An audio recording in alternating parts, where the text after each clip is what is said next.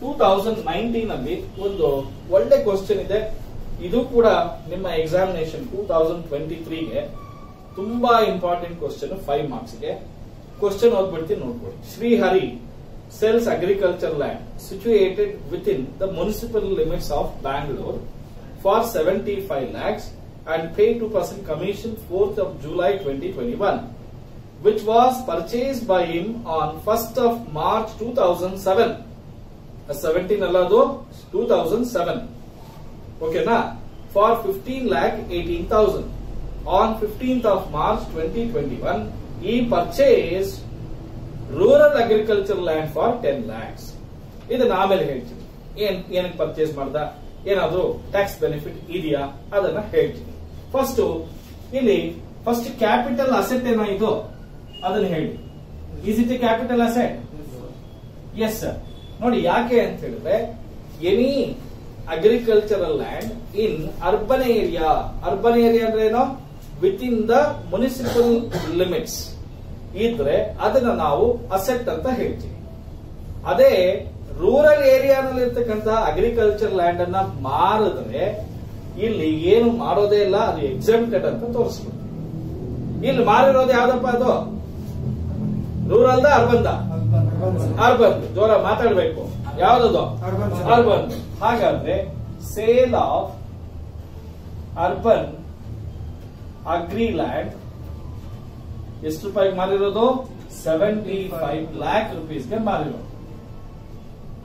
ಇದಕ್ಕೆ ಒಂದಷ್ಟು ಕಮಿಷನ್ ಕೊಟ್ಟಿದ್ದೀವಿ.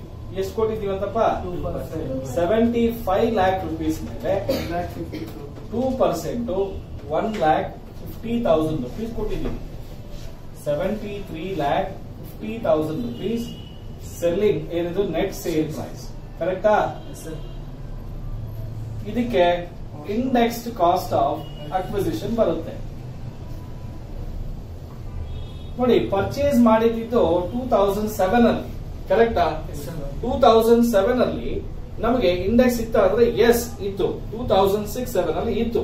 ಕರೆಕ್ಟಾ ಸೊ ಹಾಗಾದ್ರೆ ಪರ್ಚೇಸ್ ಮಾಡಿದಾಗ ಅದರ ಬೆಲೆ fifteen lakh eighteen thousand one thirty seven ಇತ್ತು.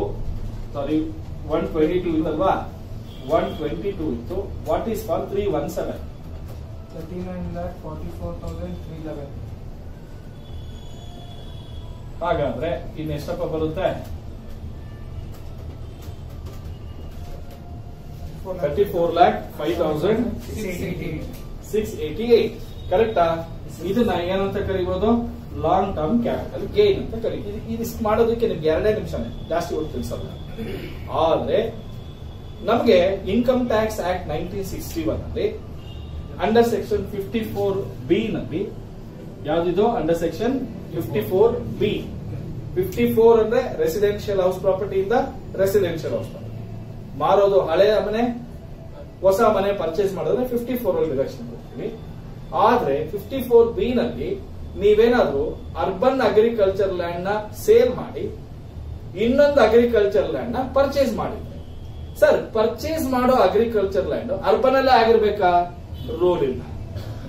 ಅರ್ಬನ್ ಅಲ್ಲಾದ್ರೂ ಪರ್ಚೇಸ್ ಮಾಡಿರೋ ರೂರಲ್ ಅಲ್ಲಾದ್ರೂ ಪರ್ಚೇಸ್ ಮಾಡಿರೋ ಒಟ್ನಲ್ಲಿ ಅನ್ನದಾತನಾಗಿರು ಅಂತ ಹೇಳ್ತಾರೆ. ಯಾಕೆಂದ್ರೆ ಇರೋ ಲ್ಯಾಂಡ್ ಮಾರ್ಕೊಂಡು ಮಣ್ಣು ತಿಂತೀಯಾ? ನಮ್ಗೂ ಮಣ್ಣು ತಿನ್ನಿಸ್ತೀಯಾ? ಯಾಕೆಂದ್ರೆ ರೈತನಿಂದಾನೇ ತಾನೇ ನಾವು ಇವತ್ತೆಲ್ಲ ಊಟ ಮಾಡ್ತಾ ಇರೋದು. ಇರೋ ಬರೋ ಅಗ್ರಿಕಲ್ಚರ್ ಲ್ಯಾಂಡ್ ಎಲ್ಲ ಮಾರ್ಕೊಂಡು ಅವ್ನು ಸಿಟಿಗೆ ಬಂದು ಕಾರಲ್ಲಿ ಓಡಾಡ್ಕೊಂಡಿದ್ರೆ ನಮ್ಗೆ ಅನ್ನ ಹಾಕೋನೆ ಅವನು ಅದಕ್ಕೆ income tax act of nineteen sixty one ಏನ್ ಮಾಡ್ತು ಅಂದ್ರೆ ಈ ಫಿಫ್ಟಿ ಫೋರ್ ಬಿ ಏನ್ ಮಾಡ್ತು? ತಂತು. ಏನಂತ? ಏ ಅಗ್ರಿಕಲ್ಚರ್ ಮಾರ್ತಾ ಇದೆಯಾ? ಅರ್ಬನ್ ಅಲ್ಲಿ ಇರೋದು ಸಿಟಿ ಕಡೆ ಇರೋದು ಅಟ್ ಲೀಸ್ಟ್ ಇನ್ನೊಂದು ಅಗ್ರಿಕಲ್ಚರ್ ಲ್ಯಾಂಡ್ ಪರ್ಚೇಸ್ ಮಾಡು. ನೀನು ಅರ್ಬನ್ ಅಲ್ಲಾದ್ರೂ ಮಾಡೋ ರೂರಲ್ ಆದ್ರೂ ಮಾಡೋ, ನಿನಗೆ ಡಿಡಕ್ಷನ್ ಕೊಡ್ತೀನಿ ಅಂತ ಹೇಳಿದ್ರು ಹಾಗಾದ್ರೆ ಯಾವಾಗ ಪರ್ಚೇಸ್ ಮಾಡಬೇಕು ಅಂದ್ರೆ ಸೇಲ್ ಡೇಟ್ ಇಂದ ಒಂದು ವರ್ಷ ಹಿಂದೆ, ಎರಡು ವರ್ಷದ ಒಳಗಡೆ. ವಿತ್ ಇನ್ ಟೂ ಇಯರ್ಸ್ ಅರ್ಥ ಆಗ್ತಿದ್ಯಾ ವಿತ್ ಇನ್ ಟೂ ಇಯರ್ಸ್ ಒಳಗಡೆ ಸೇಲ್ ಡೇಟ್ ಆದ್ಮೇಲೆ within two years purchase ಮಾಡು. ಅಥವಾ ಸೇಲ್ ಮಾಡೋದಕ್ಕೆ ಹಿಂದೆ ಒಂದು ವರ್ಷದ ಒಳಗಡೆ ಪರ್ಚೇಸ್ ಮಾಡಿರ್ಬೇಕು. ಆಗ ನಿನಗೆ ಡಿಡಕ್ಷನ್ ಕೊಡ್ತೀವಿ. ಎಷ್ಟು ಅಮೌಂಟ್ ಕೊಡ್ತೀವಿ? ಸೇಮ್ ಕಾಸ್ಟ್ ಆಫ್ ಇಲ್ಲಿ ಬರೀಲಾ? Deduction under section fifty four B ಇದಕ್ಕೆ cost of new agriculture land ಎಷ್ಟಕ್ಕಪ್ಪ purchase ಮಾಡಿರೋದವನು ಟೆನ್ ಲ್ಯಾಕ್ಸ್ ಅಥವಾ long term capital gain ಎಷ್ಟಿದೆಯಪ್ಪ? Thirty four lakh five thousand six eighty nine ಯಾವ್ದಪ್ಪ ಕಡಿಮೆ ಇದೆ? ಟೆನ್ ಲ್ಯಾಕ್ಸ್ ಮೈನಸ್ ಮಾಡ್ತೀವಿ. ಉಳಿದಿದ್ದ ಅಮೌಂಟ್ ಮೇಲೆ ನೀಟಾಗಿ ಟ್ಯಾಕ್ಸ್ ಮಾಡ್ತೀವಿ. ಇದನ್ನ taxable long term capital gain ಅಂತ ಈಗ ಇದಕ್ಕೆ ಕಂಡೀಷನ್ಸ್ ಹೇಳುವ ಮೊದಲನೇ ಕಂಡೀಷನ್ ನೀನ್ ಮಾರೋ ಅಂತ urban agriculture land minimum purchase sale ಮಾಡೋದಕ್ಕೆ ಮೂರು ವರ್ಷದ ಹಿಂದೆ ನೀನು ಅಗ್ರಿಕಲ್ಚರಲ್ ಆಪರೇಷನ್ ಮಾಡ್ತಾ ಇರಬೇಕು. ಸುಮ್ನೆ ಯಾವ್ದೋ ಏನಂತ ಎಂತ ಗಿಡ ಅಂತಾರೆ ಯೂಕೋಲಿಪ್ಟಸ್ ಅಂತ ಹೇಳ್ತಾರಲ್ಲ ಅದಕ್ಕೇನಂತಾರೆ ಕನ್ನಡದಲ್ಲಿ? ಕಾಂಗ್ರೆಸ್ ಅಲ್ಲಲ್ಲಿ. ನೀಲಗಿರಿ ಮರ. ನೀಲ್ಗಿರಿ. ಮರ ಹಾಕ್ಬಿಟ್ಟು ತೋಪ್ ಮಾಡ್ಬಿಟ್ಟು ಬಿಟ್ಬಿಡ್ಬಾರ್ದು ಅರ್ಥ ಆಗ್ತಿದ್ಯಾ? ಅಥವಾ ಬೀಡ್ ಬಿಡಬಾರ್ದು ಅಗ್ರಿಕಲ್ಚರಲ್ ಆಪರೇಷನ್ಸ್ ಮಾಡ್ತಾ ಇರಬೇಕು. ರನ್ನಿಂಗ್ ಅಲ್ಲಿ ಅಗ್ರಿಕಲ್ಚರಲ್ ಆಪರೇಷನ್ ಇರಬೇಕು. ಅರ್ಥ ಆಗ್ತಿದ್ಯಾ? ಮತ್ತೆ ಪರ್ಚೇಸ್ ಮಾಡಿದ ಎರಡು ವರ್ಷದ, ಮೂರು ವರ್ಷದವರೆಗೂ ಅಗ್ರಿಕಲ್ಚರ್ ಮತ್ತೆ ಮಾರಬಾರ್ದು.